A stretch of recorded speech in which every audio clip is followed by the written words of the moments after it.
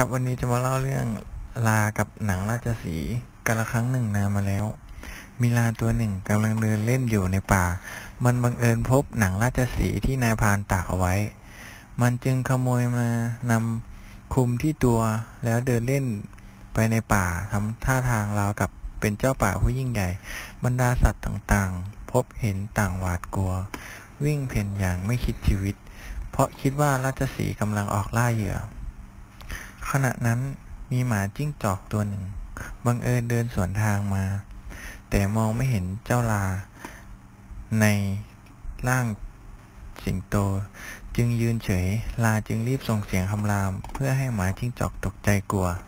เหมือนสัตว์อื่นๆ หมาจิ้งจอกได้ยินเสียงก็รู้ว่าเป็นลา จึงพูดขึ้นว่า นี่หากข้าไม่ได้ยินเสียงเจ้าซะก่อน ย่อมต้องเข้าใจว่าเจ้าเป็นราชสีห์จริง ๆ